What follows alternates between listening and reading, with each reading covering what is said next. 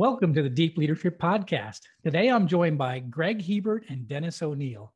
Greg and Dennis are the co founders of Leadership Forward, a leadership and executive coaching company. They are the co authors of a new book coming out next month called Changing Altitude How to Soar in Your New Leadership Role. This book helps readers become more impactful leaders in a workplace that has been through a significant change over the past few years. So I'm excited to have them on the show to learn from their unique perspective. So Greg and Dennis, welcome to the show.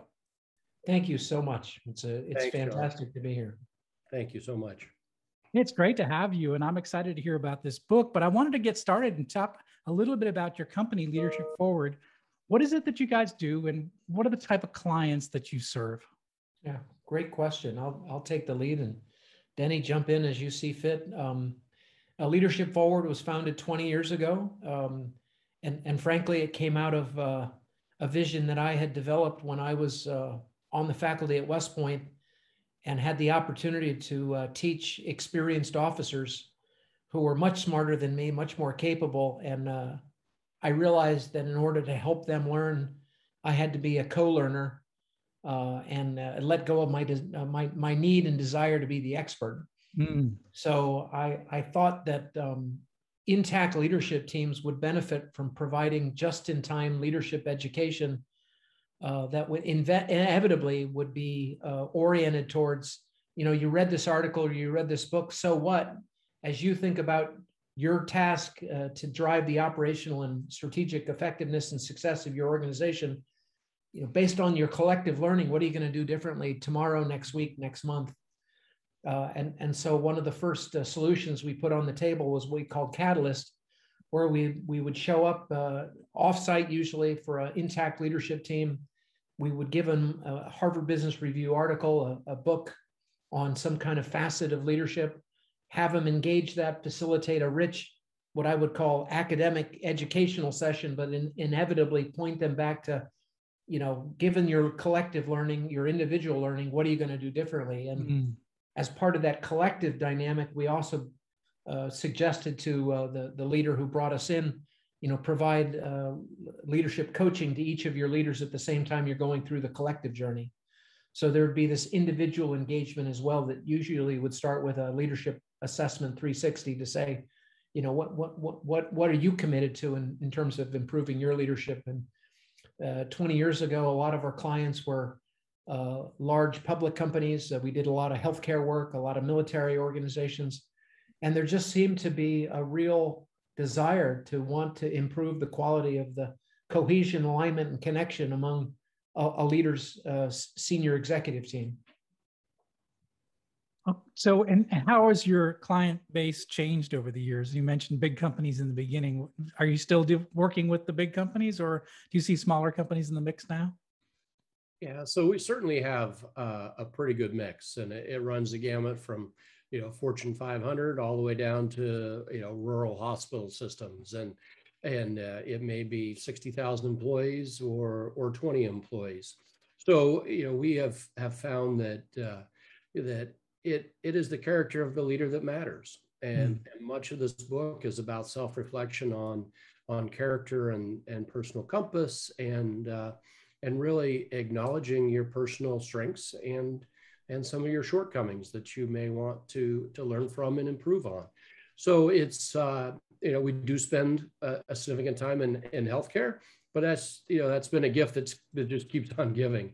And as uh, one person says, I've got a, a, need, and another person says, I, I have a, a person.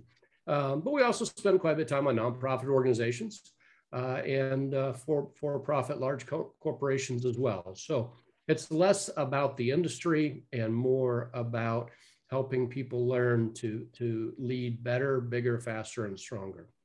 Mm-hmm.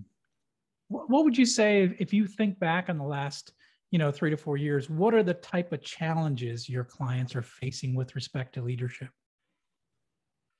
Yeah, I'll I'll take a stab at that, and Denny, you I know you have a lot of good insights on that as well. Um, you know, it's interesting at the individual level. Um, I always see sort of five dominant constellations of problems. The uh, I got a call yesterday from a large uh, global client that has a a leader in Norway who um, technically brilliant, but overly blunt, overly direct.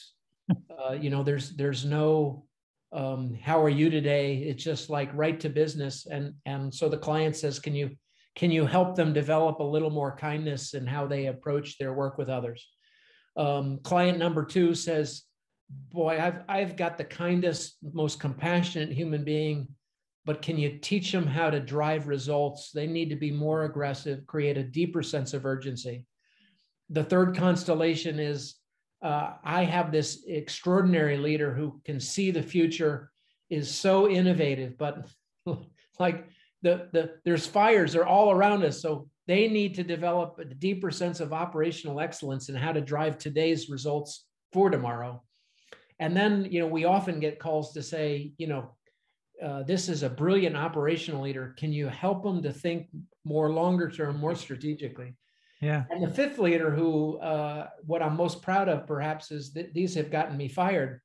Is I'll, I'll get a board calling me up saying uh, we've got a, a CEO who brilliant. They are strategically innovative, but nobody trusts them. Uh, they're destructive. Uh, they're all about themselves, and and there's this gap between what they value what they say they value and actually what they live and so can can you help them develop character? And uh, wow. i do pretty well and and and my colleague does on the first four. Uh, i've i've not um, i've struggled to help uh, people who are overly narcissistic uh, um, soften uh, some of those qualities. Yeah. Yeah that is a challenge. Yeah i i talk about in my books a lot that leadership is a people business. And if you're if you're all about yourself you're probably going to struggle a bit with uh, leadership and leading people because it is all about the people side of it.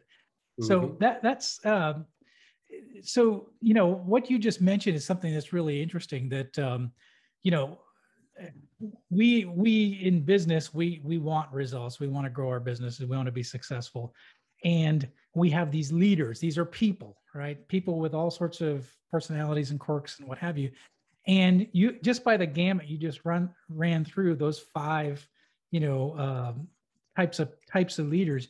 You can see um, that everyone brings something different to the table but you can see the impact uh, the adverse impact that those mm. leadership styles kind of bring to that particular company. So it's really interesting because there've been like 15,000 books written on leadership and we're still struggling to uh, to master this this uh, this topic because there are ranges, you know, like you said, whether operational or strategic, whether uh, really good with people, really bad with people, mm-hmm. and there's mm-hmm. there's this, and it's a balance, really. And to be a successful leader, part of it is balancing all these things and trying to find that sweet spot for your organization. Yeah. But it is a challenge, which keeps people like you employed for 20 years, which is a good thing, right? I guess. so. Thank you. What um, what in particular have you seen um, changing in the past two to three years in the workplace. And these are really, I think, disruptive trends.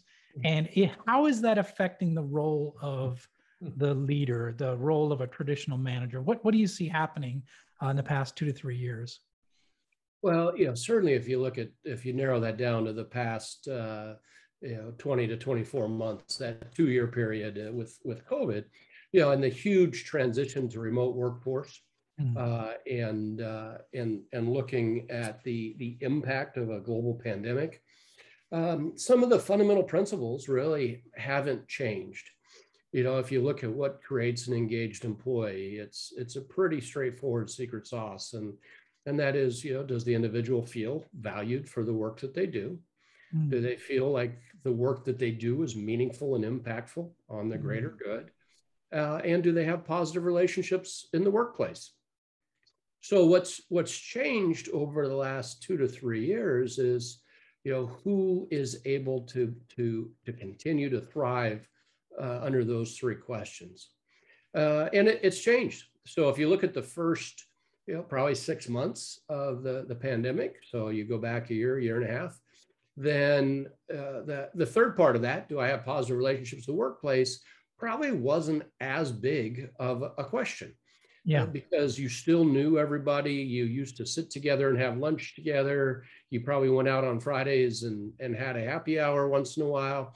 You know, you knew them as individuals. Well, what's then changed over the last year is, you know, with natural uh, transition in a workforce, you know, you now have colleagues that you've never met in person. Yeah. You know, yeah. I was dealing uh, with uh, a team in uh, in New Orleans, and there's about a third of uh, the the recruiting team that has never met the recruiters in North Louisiana because they live in the South and and they've never had their all hands days that they they would traditionally have. So there has been some unique opportunities for leadership, right? Because those those fundamental principles of making people believe that they are a fundamental and essential part of the team is still critical. Now, how we go about doing that as leaders has, has changed, and it has probably become even more important than ever before because it doesn't just occur naturally. It has to be something that is intentional and, and worked at. And I, I know Greg has had some examples of this just in the recent past. Mm-hmm. Yeah, the, the, the other thing, Jon, is um, I, I spend a lot of time uh, teaching and educating um, a, a, lot of audiences on this theme called post-traumatic growth.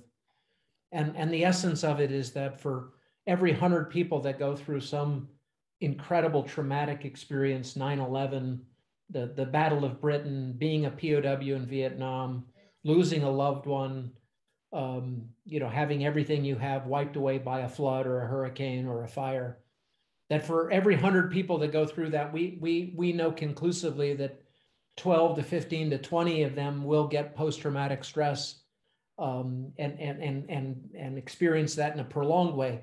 But we also know now more about the 25 to 35 that will emerge from these traumatic experiences, more clear of their purpose, mm-hmm. more compassionate and empathetic in their relationships, stronger in their sense of resilience, not uh, worrying about the small stuff and paying attention to what really matters and a, certainly a deepened and strengthened belief in spiritual system. So, you know, one of the things that uh, I, I think you're seeing is some people coming out of this very difficult time stronger, more clear, and and it, in many ways it's it's uh, strengthening the work that Denny and I do because we're able to to to tell tell senior clients you've got to create the most positive work engagement possible because your best talent now, you know, faced with this, you know, existential challenges to what's important in life, they have a lot more opportunity. And if they don't believe there's a values fit between your organization and them, they're going to leave. Mm-hmm. And, and so the message that Denny and I get to say to leaders, if you're not actively engaging and uh, you know making sure your people feel valued, seen, heard, welcomed, embraced, you're going to lose your very best. Yeah. Uh, so you know, there's there's some good of all of this disruption and what I would call civic and environmental and uh, political unrest that that says uh, you know we need to create more high performing, engaged, and connected teams uh, more than ever. And and as Denny said, it's it's incredibly challenging when you're doing it through Zoom and not face to face and eye to eye. Yeah. Yeah. The other thing I think too is that you know over the past 18 months, people have had a little more freedom. You know, they're they're working from home, mm-hmm. so you know they might sleep in a little bit. They might get a workout during during lunch, or you know they might have they, they they've they've had a more of a they've had more control over their day compared to being in the office, right? Yeah. And so now we're asking them. Soon we'll be asking them to come back to the office and and so are we going to uh, and they've had this taste of freedom you know what it's like to to to kind of live your own life without you know somebody watching over your shoulders.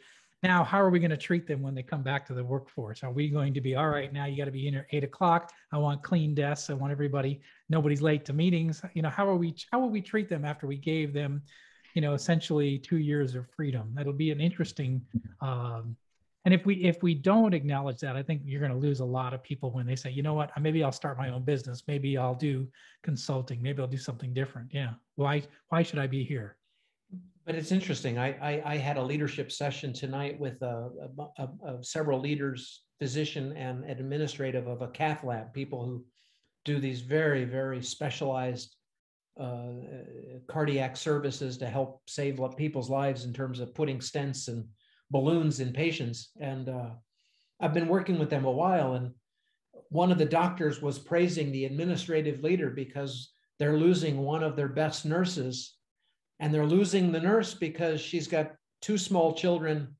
and she can't take call anymore mm-hmm. and and and the doctor was praising the administrative leader because the administrative leader said look at we love you we want you to stay you're extraordinary but if i create an exception for you not to take call I'm going to have 10 other nurses lined up behind you to ask for the same thing. And we can't provide the kind of care to our patients if we don't have people ready to respond at any hour of the day and night to the need.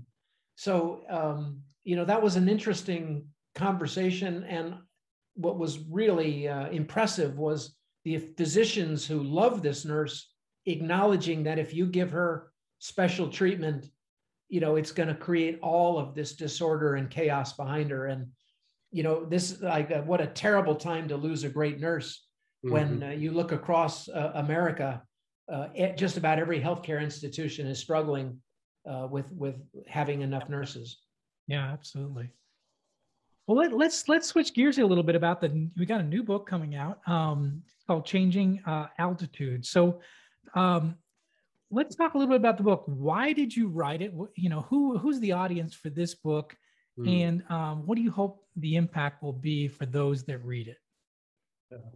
So the audience is is really anybody in a leadership role who's now changing into a different uh, role. So you know, I used to uh, teach uh, a course as a, a full professor. I, I, taught a strategic leadership course and you know, I, I would fundamentally spend a year helping people transition from you know answering somebody else's question right to making sure that the right question got asked. Uh, and that was a fundamentally different skill set. And the the the premise was then that leadership at different levels isn't just doing more of the same. It, mm-hmm. it requires a fundamentally different skill set, and we we have to be able to identify not only what that skill set is, but how does that fit into our own personal strengths and, and opportunities? And then be honest uh, about the opportunities and then seek self development. So, you know, we, we got into this because one of our clients, um, a corporate client outside of Chicago, uh, was, was being promoted from running a 250 person organization to almost 2,500. And overnight went from one business unit to to uh, six business units. And so you would go from uh, basically being a, a, master of your own domain to now operating in a world where you are no longer the subject matter expert in everything that happened. Yes. And he asked us, you know, what what is out there? What articles? What books? What can I read? How can I best prepare for this, you know, massive transition uh, for him? And that's what Greg and I spent a lot of time researching it. And, you know, we found a tremendous amount written about our first leadership experience and a tremendous amount written about our culminating role as a CEO. But making that transition in between, uh, there was just very little that existed to help people in a very practical way to say, you know, what do I need to think about in terms of you know, inspiring engagement and advocating excellence and implementing and planning and driving results and, and developing uh, leading change and, and understanding the impact of culture and practicing those, those teamwork and collaboration skills that we've discussed a little bit.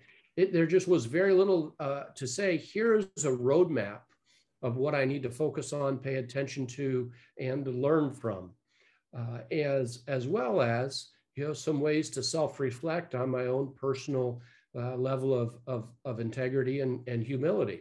So, you know, we looked at uh, at the individual person, we looked at those that were leading, we looked at the environment around, and tried to put that into a narrative under this this onus of changing altitude, and that is, you know, how do we rise above the clouds sometimes to as in an airline airline, or in your ways, maybe it's going down in the submarine. But right. yeah, how, how do we change that altitude to the right position where we can see what we need to at the time? And mm-hmm. sometimes that involves going up, sometimes that involves coming down. Yeah. But it is, you know, what are all those instruments on the panel that we need to be able to see in order to understand the environment that we're operating in and to be able to lay on our backs and look up when we need to, and to look down uh, from a, a, top balcony when that is required as well. Well, yeah, that's great. To, to, to, build on that, Denny, the, I think the other thing that why we really um, that that title of changing altitude really resonates with us is if you look through the great errors of, of uh, leaders in positions of, of immense power and authority invariably um, they they made decisions based on what they thought they knew and what they thought was right and when you unpack it there were dimensions of the complexity of the situation that were never fully appreciated mm-hmm. and and so we we, we you know we we think that humility is often underrated and and that hubris uh, too often takes uh, time we we we cite these two researchers from uh, university of north carolina uh, dunning and kruger who came up with the dunning kruger mm-hmm. effect yeah. that said uh, um, human beings especially males think they know far more than they really do yes and you know it was uh, secretary rumsfeld who ironically said these words it's not what you know or don't know that's going to get you in trouble. It's what you don't know you don't know. Right. So we we think we we do a, a, a pretty thorough job to sort of give some tools to the reader, you know, that before you proclaim I know, there there's a process to go through to make sure that you know for sure. Yeah. No, that's great. I'm glad to hear that. I know, you know, when I was a young leader, you know, my first factory I got at 32 years old and and I was intimidated because I thought I needed to know all the answers, right? I, I had to I had to know everything because I was the leader. I was the guy in the corner office. I had to have all the answers. And what I learned and what I've been learning for 30 years is that it's not so much having all the answers, but having the right questions and mm. having the ability to shut your mouth and listen to the mm. people that have been there and have done that and have the experience and have the battle scars and to listen to those stories yeah. and then put all those stories together to come up with the direction that, that you're going to head is to have the ability to be humble enough to say all right i don't know but you do tell me tell me yeah. what you think you know and getting that input is really really important absolutely absolutely yeah so one thing you say uh, that is this is a new era of leadership and you say that it's more important uh, it's it's less important to see what employees are actually doing, but more important to understand how they feel. Oh, what do you mean by that in this yeah, new so, era that we're in?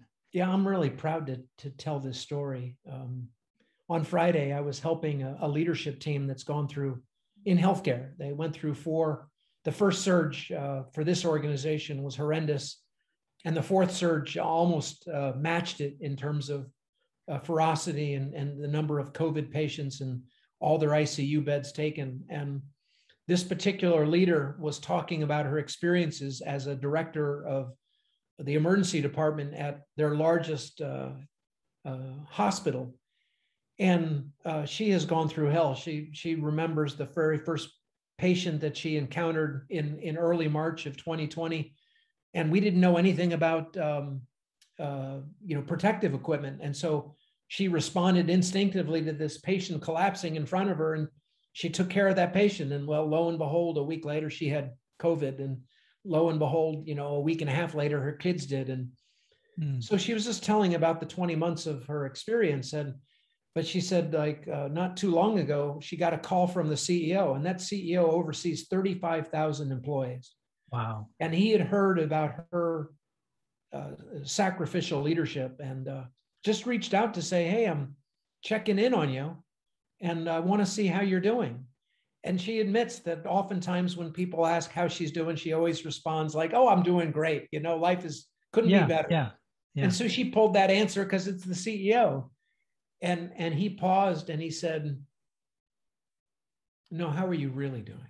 Mm, yeah. And just the way he said it and the care in in his in his voice said it's it's okay for me to tell him that right this is hard yeah and uh you know it, it, it it's been a challenge and I, I love to tell that story because i you know uh, how do we create more ceos like that yeah absolutely and and i'm gonna yeah and i'm gonna tell as many people who will listen to me about that story because he's an amazing example of you know, d- despite, you know, being 10 levels above this woman, he has the courage and the insight to reach out and check in with how she's doing. And yeah, I mean, I, just show, it shows the ability to care that you care, right? And I think that's a major, it's a major signal because not only does she see that this CEO cares, that story gets out through the rest of the organization that this CEO cares. And I was just going to mention, I had my uh, my first seat, and my first captain of my submarine uh, he he had me get the ship ready for for sea, and I never done it before. Hmm. And he was an 06, and I was probably an 02 at the time. um, he was off. He wasn't even on board the submarine, and we had a dependents cruise. We had 70 yeah. VIPs showing up, and I had to prepare the submarine for sea oh and take God. it to sea. And it was something I'd never done before. Yeah. When he finally showed up, he came to the bridge, and the first question he asked me is, "How do you feel?" Yeah. And I was really surprised by that question but yeah. he cared more about me as a person and less about the status of the yeah. submarine at the time. And, and that's i think marks a great leader is that yeah. they're willing to say you know how are you feeling right now? Or what what's it what's you know what's really going on with you? It shows it shows they care and it's something that i'll never forget that. And that was you know 30 years ago and i still oh, remember oh, that's a great that's a great story. Love that yeah it really is as you you think about how do leaders inspire engagement Mm. That's really what you're getting at the heart of is, you know, somebody that's respected, somebody that's approachable, uh, helps you be aware uh, of yourself and, and learn, and that you show the, the employees, or in your case, the sailor, that you value them and mm. that you're empowering them. Uh, and and I love the the term of, of fostering a notion of psychological safety, where mm. they not only are they approachable, but at, just as in the example that Greg had, when the, the CEO said, No, how are you really doing? Yeah. providing yeah. that safe space for somebody to have an open and honest conversation, not only so the CEO can, can gain a greater understanding, but the employee can feel uh, valued and uh, and rewarded for their for their personal sacrifice that they have made. Yeah, absolutely. And you know, I think even going back to what I was saying earlier too, there's there's there's 35,000 employees, right? You can't obviously have that kind of interaction with 35,000 employees, but you have one yeah. with one. And then the word gets out as to, to, to, who you are and what your character is. So I always believe that in leadership, sometimes we just set an example or we, and, and, you know, I mean, on, on, you were in the military as well. So, you know, the, the rumor, the rumor mill goes faster oh, than yeah. any sort of yeah. corporate communication you can ever have. Right. So, um, you know so you allow the word to get out that this actually happened. And i think those uh, it helps you you know why you can't reach out to 35000 people. Yeah, they, you can reach out with enough people where the people see that this is your character this is who you I are. mean, uh, you know certainly tom brady did not need more notoriety as as the you know the greatest of all. But what he did uh, on on sunday the little boy who had a sign that said you you you helped me heal from brain cancer. Yeah. And and and Brady having the wherewithal to go up and make that a memorable moment for the the, the son, the father, the I mean, who, who was not positively moved by that? Yeah. And did Brady need to do that? No. Absolutely not. And you know, we cared less about the fact that he, you know, hit 600 touchdowns. We we cared about wow, his humanity, his humanity. Yeah, yeah absolutely. I love that. And you actually talk about that. You say that leaders need to have a balance of uh, empathy, self reflection, and self development, those three subjects. Mm-hmm. So maybe talk a little bit about those three and why those are so important. We, you kind of mentioned empathy a little bit. Yeah, I'll start, uh, Denny, and sure, please feel free to jump in. I, I um, you know when you when you look at the foundations of leadership uh, emotional intelligence comes up over and over again. And and so you talked about feeling and we we we've we've you know t- took feelings out of you should never have those and leave them at the door to they're an important part of not just being human but um, actually we know now that you, without uh, emotional reasoning we make terrible decisions or we we can't make decisions at all. So it's a it, it's something that needs to be nurtured. And if you dig deep into the literature of leadership going back to the Sumerians 10,000 years ago in the Code of Hammurabi, you'll find the language of know thyself. Yeah. And uh, I, you know, uh, being a, a, an army officer, I have tremendous respect for my Marine colleagues. And if you look at the Marine Corps, 10 principles of effective leadership in the armies, they're identical. Uh, soldier is exchanged for Marine and vice versa. Yep. But but always the first principle is know thyself. Right. And so uh, equipping a leader to begin with, you know, as you look in the mirror, what do you see? And having the courage uh, and empathy to say you can't be perfect. I uh, one of the strengths I have on all, all of my personality assessments, but those who work closest with me, Denny's one of them, is I am one of the most spontaneous, flexible human beings you'll ever meet in your life. That you know, I I will change my approach to a human being based on signs and things that are not even spoken. Mm. But but I am not very good to to be organized and to be structured and to to uh, be deliberate. And and so the army was very good to me in providing those things that i don't naturally do. Right? And so you know empathy for yourself to recognize you have gifts you have strengths but you have some liabilities and you can't let the liabilities become the reason why you can't be successful. So you got to manage those but you're really going to soar when you know what your strengths are and you focus and hone and refine and cultivate them because that's where you're going to really flourish so uh, you know, I think knowing thyself and, and having the courage to take the journey, you know, one, one of the things that I, I'm very clear with clients when they say, you know, can you coach him or her, or can you coach me? Is my first question is, is, you know, are, are you, are, are you content with who you are today? Yeah. Um, you know, if you take the Popeye defense, I am who I am. And if you don't like it, yeah. tough. Yeah, well, yeah. I, I'm probably not going to be the best one to coach you. yeah. Well, it's interesting because I, I, I think there's a dilemma out there, and you guys are in it longer than me. But you know, just as a practitioner of leadership, I see that the the best leaders are constantly trying to learn and trying to develop and trying to get better. They're the ones reading the leadership books and they're le- reading the autobiographies and the, they're trying to get better at their craft. It seems like the the the the, the bad bosses out there aren't aren't self-reflecting and aren't self-developing but yet we write the books in the hopes that they might pick it up and read it so the question is always is the like, wrong people are reading it how do you get the books in the hands of the people that actually need it that's yeah. something i've struggled with and trying to figure out the best way to do that. But because it seems like the people that really need to, to to read these books and to learn are the ones that are like le- less likely to pick it up because they have they know all the answers. They you know they they know what like you said they they're they're they're comfortable in in who they are and they don't want to change. And that's not a good place to be as a leader. Well as, as denny said this book is is targeted to um, you know certainly leaders who have changed their scope and responsibilities in extraordinary ways but i'm also incredibly hopeful that uh, that as this book comes out uh, as a leader promotes his or her uh, so, someone into a leadership role they'll think about this book because my my hope and desire, Jon, is that we can get to younger, younger leaders and and and give them a, a thirst and a fire for self-development that mm. it's it's a continuous journey. And uh, you know, I, I will tell you, I had this delightful coaching call with a young nurse leader. He's not young though; he's he's in his uh, late 30s, and and and for him to say, you know, Greg, you're you know, I think I've developed a greater capacity to be aware of my emotions and and my you know and, he admitted to have a temper he says but you know where where i think i can really use this is at home uh, with my mm-hmm. daughter and my girlfriend uh, yeah. do, do, do, you think these things can be applied there? And I'm, I'm saying to myself 100%. Like, yeah. it's the same thing. You're leading your family right? Yeah. so yeah. it's a great point. It's a great point about self-assessment self-reflection.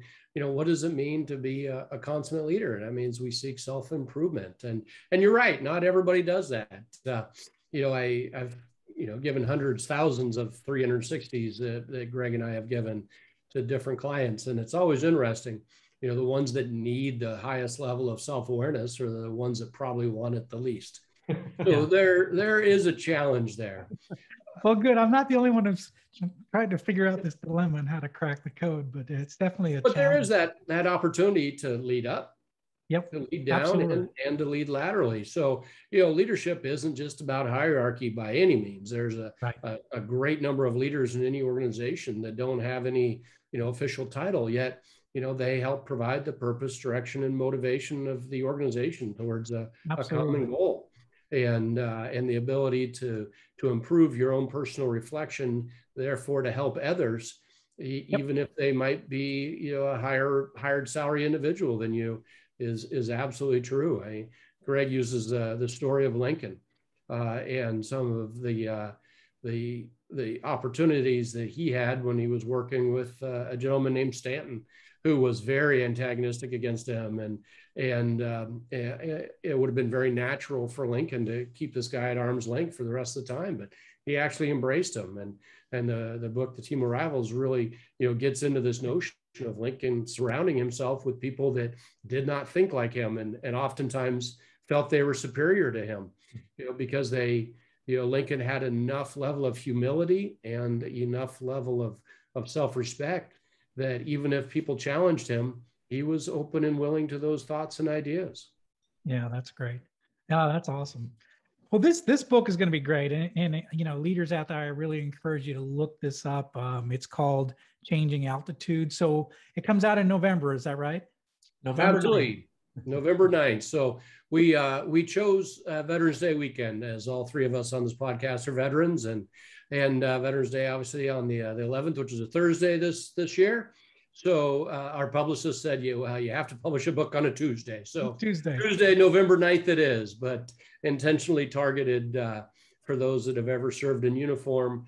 certainly, and it's not a, a military leadership book. It's it's written by two people that have experience in the military but also a lot of experience in in in government, in academia, uh, and in the, the, the private sector as well. So we hope you'll go to uh, 3eleadershipgroup.com and uh, and take a look at it, or straight towards changingaltitude.co.